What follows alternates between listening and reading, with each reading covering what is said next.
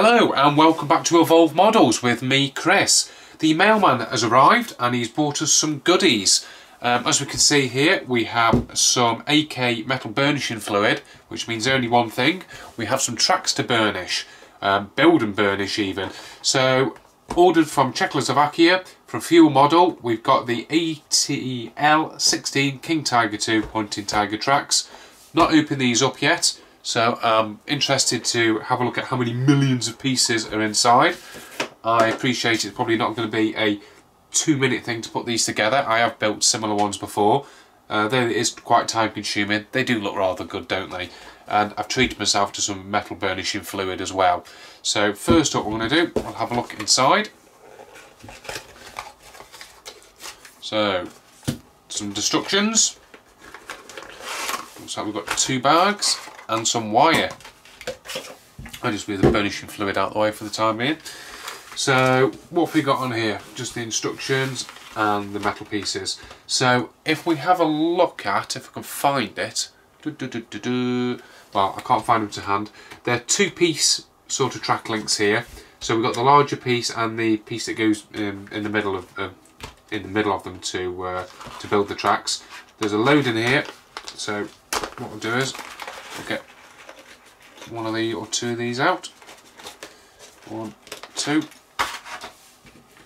And we'll get this piece that goes in the middle. A couple of these as well. Two of them as well. And essentially what happens is that these go together like so, I believe. And there we go. They go in there like that. And then the next track will go in there like so. Ooh. So essentially what I'm going to do is, is drill all the way through some of these pieces here, all the way out to the other end, and put some wire through which is supplied here. So I'm going to get that ready and set up and then we can have a go and see how we do and see how many times we swear. So I set up a little bit of a production line here.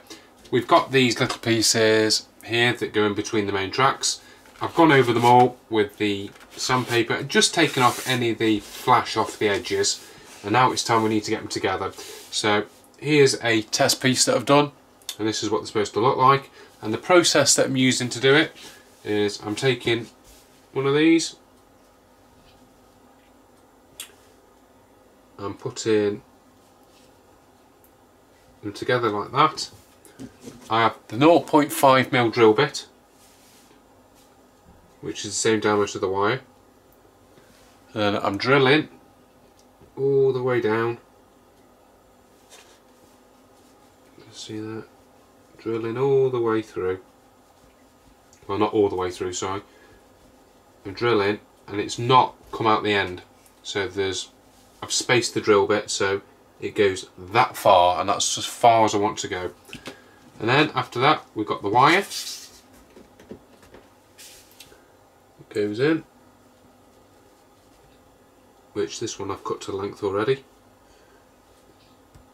And he sits in there. And there's one done.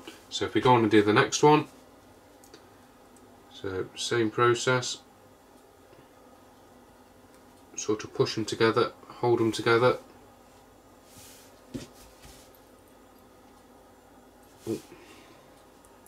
a little bit fiddly.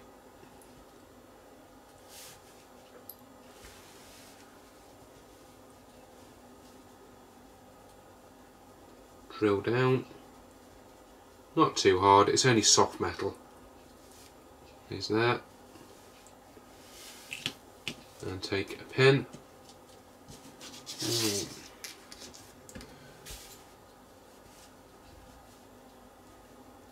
And put the pin in and there we go. And we have workable tracks.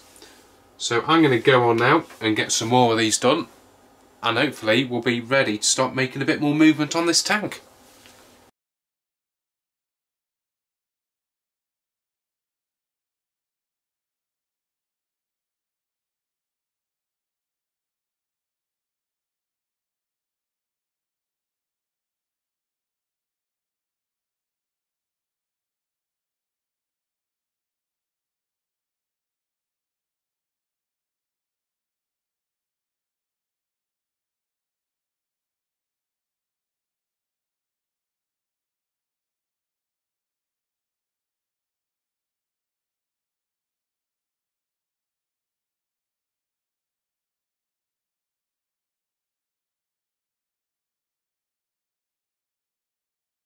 So I've been working about half an hour now and we've got this far with this section which I didn't think was too bad actually. Uh, we've got the drive wheel from the kit itself and wrap it round and it's a nice fit. It's looking good that is. They're going to look absolutely smashing on the uh, on the tank. They're absolutely fantastic. So I'm going to put some good music on and I'm going to get stuck down with the rest of these now and get them all ready. So after much time and my fingers are now basically bleeding from the amount of uh, pins I've had to shove through all these uh, tracks.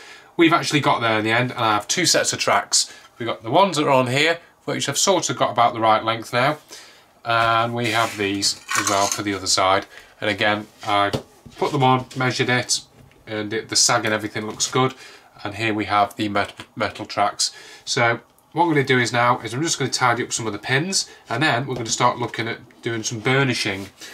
For the burnishing um, I'm going to be using the AK metal burnishing fluid but before we get onto that let me just do a last final tidy up of these and then we can go through the whole burnishing process which I've never done before and see what we get.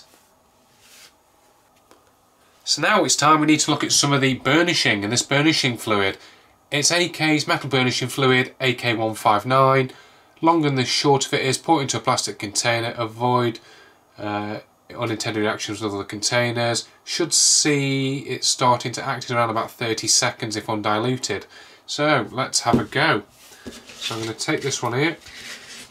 Let's see, we'll put him out of the way for a second. I'm going to wrap him up. He's going in there.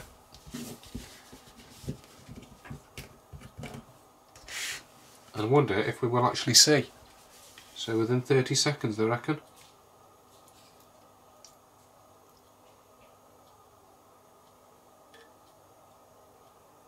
And. And we've got the other one there, just over the top.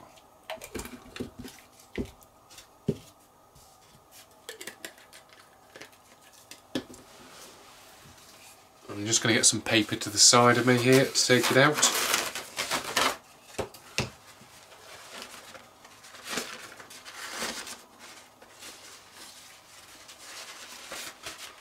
Put that there ready. And after 30 seconds or so, it is looking like it's doing its job. A little bit on the top there. Might just need to put this extra little bit in. There we go. That's about four minutes. So I'm going to take it out, I think. Nice. Let them dry on there. Let's see if we can flip them open so you can see.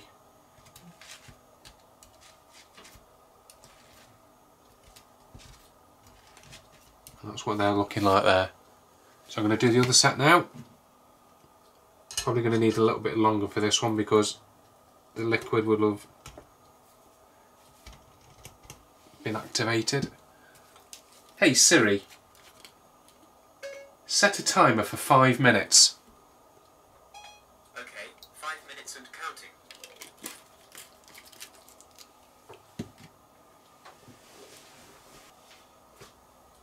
Let's have another look.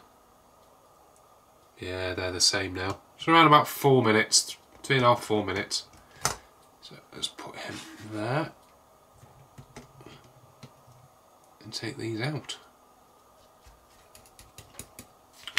What I'm going to do is, is I'm going to leave these to dry off and then we can come back, unravel them and see what we've got.